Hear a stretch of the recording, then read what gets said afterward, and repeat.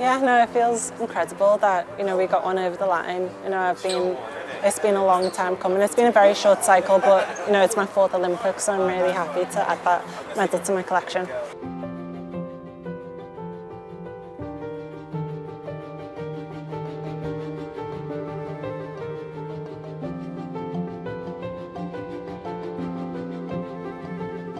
Yeah, Liverpool is my home. It always is my home, even if I train and live elsewhere.